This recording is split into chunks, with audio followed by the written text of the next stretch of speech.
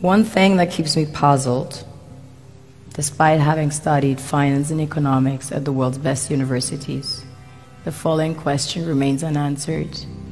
Why is it that 5,000 units of our currency is worth one unit of your currency, where we are the ones with the actual gold reserves? It's quite evident that the aid is in fact not coming from the West to Africa, but from Africa to the Western world. The Western world depends on Africa in every possible way, since alternative resources are scarce out here. So, how does the West ensure that the free aid keeps coming? By systematically destabilizing the wealthiest African nations and their systems, and all that backed by huge PR campaigns, leaving the entire world under the impression that Africa is poor and dying and merely surviving on the mercy of the West.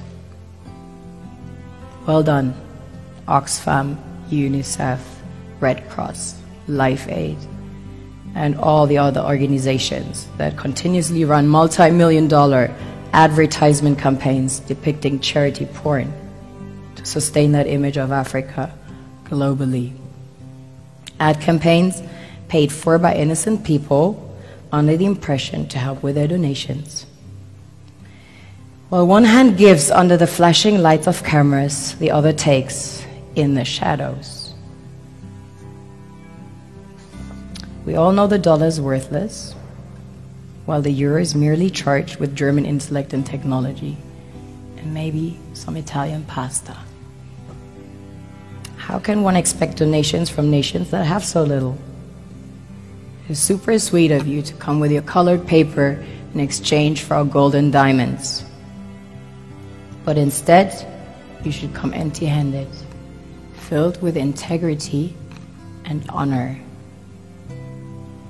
We want to share with you our wealth and invite you to share with us. The perception is that a healthy and striving Africa would not disperse its resources as freely and cheaply, which is logical.